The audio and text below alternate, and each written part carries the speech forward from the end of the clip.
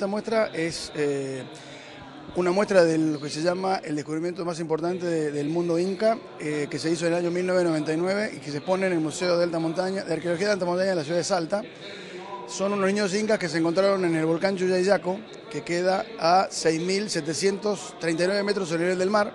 Es considerado el descubrimiento arqueológico más alto del mundo, no solamente por el lugar donde se encontró, sino aparte en el estado de conservación que tienen estos niños con todo su ajuar.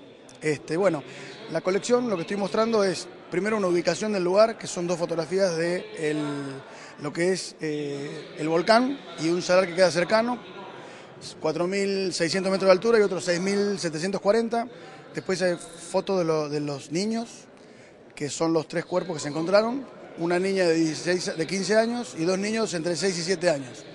Y después el ajuar que vino con ellos, que son más o menos unas 150 piezas, que están en un estado de conservación increíble. Este, que bueno, ustedes pueden ver, son cosas muy mínimas, muy miniaturas, muy chiquititas, que las sacamos con una condición de luz muy particulares.